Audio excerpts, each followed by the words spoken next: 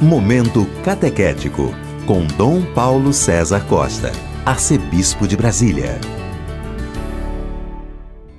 Amados e amadas de Deus, estamos celebrando este primeiro domingo da quaresma, estamos vivendo esse tempo forte onde a igreja nos convida à conversão através da penitência, onde no Brasil temos também o tema da campanha da fraternidade, esse ano fraternidade e educação, e o, e o lema fala com sabedoria, ensina com amor. Nesse primeiro domingo da quaresma, temos diante de nós um texto tirado do capítulo 4 do Evangelho de São Lucas, dos versículos de 1 a 13. Naquele tempo, Jesus, cheio do Espírito, voltou do Jordão e no deserto ele era guiado pelo Espírito. Ali foi tentado pelo diabo durante 40 dias. E não comeu nada naqueles dias e depois disso sentiu fome. O diabo disse então a Jesus: Se és filho de Deus, manda que esta pedra se mude em pão. Jesus respondeu: A Escritura diz: Não só de pão vive o homem. O diabo levou Jesus para o alto, mostrou-lhe por um instante todos os reinos do mundo e lhe disse: Eu te darei todo este poder e toda a sua glória, porque tudo isso foi entregue a mim e posso dá-lo a quem eu quiser. Portanto, se te prostrares diante de mim em adoração, tudo isso será teu. Jesus respondeu: A Escritura diz: Adorarás o Senhor teu Deus e só a ele servirás. Depois o diabo levou Jesus a Jerusalém, colocou-o sobre a parte mais alta do templo e lhe disse: Se és filho de Deus, atira-te daqui abaixo, pois que, porque a Escritura diz: Deus ordenará aos seus anjos a teu respeito que te guardem com cuidado. E, mais ainda, eles te levarão nas mãos para que não tropeces em alguma pedra. Jesus, porém, respondeu: A Escritura diz: Não tentarás o Senhor teu Deus. Terminada toda a tentação, o diabo afastou-se de Jesus para retornar no tempo oportuno. Amados e amadas de Deus, o Evangelho começa mostrando que Jesus é conduzido pelo Espírito. Jesus foi batizado, se submeteu àquele rito batismal de João Batista, recebeu o Espírito e, conduzido pelo Espírito, Jesus é conduzido pelo Espírito para o deserto. O texto diz: ele era guiado pelo Espírito. É o Espírito que conduz Jesus. E ali no deserto, Jesus passa no deserto 40 dias. 40 dias relembra os 40 anos de Israel, que no deserto também foi tentado, que no deserto também experimentou a Deus, mas que também sucumbiu à tentação no deserto. Relembra os 40 dias de Elias no deserto, a experiência do deserto. E agora Jesus então que passa 40 dias no deserto. E no deserto Jesus é tentado. O diabo o tenta. E a primeira tentação que o diabo faz a Jesus, se és filho de Deus, manda que essas pedras, que esta pedra se mude em pão. Jesus estava com fome, depois de 40 dias sentiu fome e é tentado ao imediatismo, a transformar pedras em pão, a transformar pedra em pão. Quer dizer, usa os teus poderes messiânicos em benefício próprio. Você está com fome?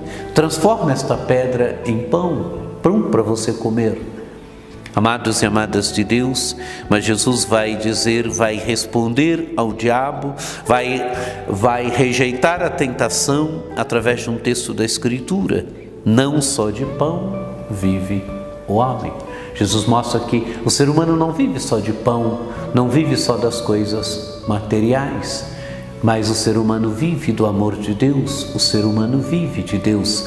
Deus deve estar no centro da vida do ser humano. Não que o pão não seja necessário, o pão é necessário sim à vida, mas aqui transformar pedra em pão implicava sim sucumbir na tentação, cair na tentação.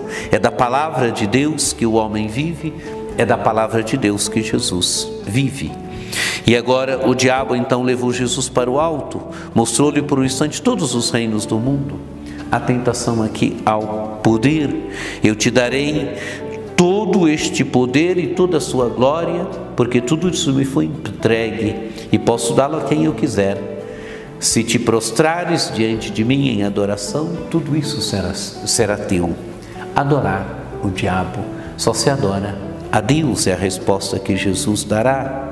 A escrito Jesus respondeu, a escritura diz: Adorarás ao Senhor teu Deus e só a ele servirás. Amados e amadas de Deus, é a tentação à idolatria. Quando nós colocamos na nossa vida algo no lugar de Deus, tudo aquilo que nós colocamos no lugar de Deus na nossa vida é idolatria.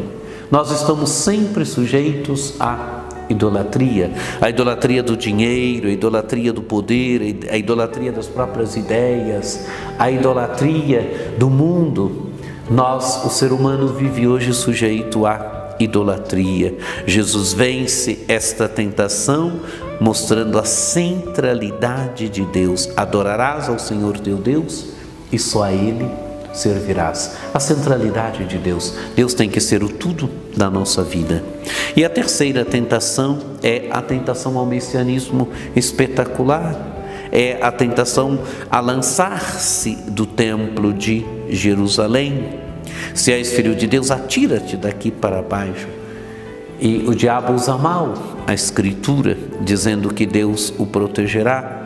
Mas Jesus vai repelir de vez a tentação, dizendo: Não tentarás ao Senhor teu Deus. A tentação ao messianismo espetacular, a tentação a usar dos poderes messiânicos como um grande espetáculo, que é a tentação também da vida humana. E o Evangelho termina dizendo que o diabo afastou-se de Jesus para retornar no tempo oportuno. O tempo oportuno é a sua paixão, é onde o filho vai se manifestar no, no, no auge da sua obediência, onde ele vai assumir com suor e lágrimas a vontade do Pai. É ali que o diabo tenta, tanto que na cruz nós vamos encontrar três classes de pessoa que diz: se és filho de Deus, desce da cruz. Jesus mostra que esse não é o seu caminho, ele é o Messias servo. Se percebermos bem, na primeira e na terceira tentação, se és filho de Deus. O Pai o tinha proclamado filho no batismo e agora Jesus é tentado exatamente naquilo que ele é, filho de Deus. Mas o seu messianismo é o messianismo do servo. Amados e amadas de Deus, olhemos, contemplemos as tentações de Jesus. Nós, conduzidos pelo Espírito, também podemos vencer as tentações da vida do dia a dia, podemos vencer as provações da vida do dia a dia.